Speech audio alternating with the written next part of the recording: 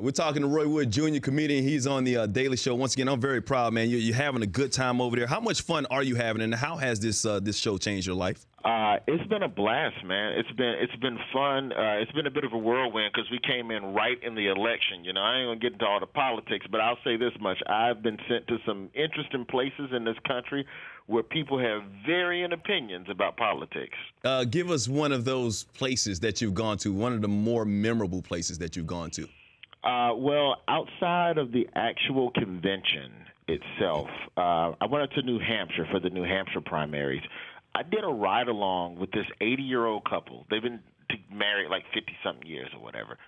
They go to all of the primary speeches. They even though they know who they're voting for, they go to all of the primaries. The only thing I can compare it to is some sort of like political Coachella or something, where the speeches and they had it all laid out on a map. And yeah, we're gonna go see Ben Carson at two thirty. Then we're gonna go see Chris Christie, and then I, I think Rand Paul has a brunch that we're gonna go to. I'm like, y'all need to sit down somewhere. Just go somewhere and be old.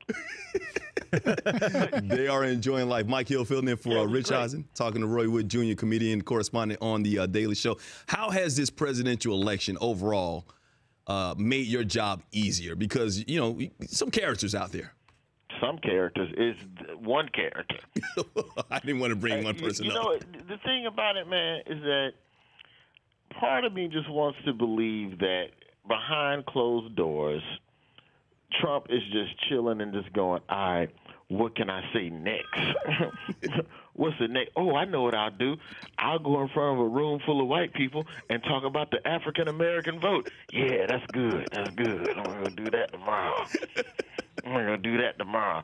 Um, say what you want about him, but it's definitely going to be a bunch of people showing up to vote against him and vote for him. So if nothing else, voter apathy will be down. Yeah, must see TV. The Rich Eisen Show, weekdays at noon Eastern on Audience.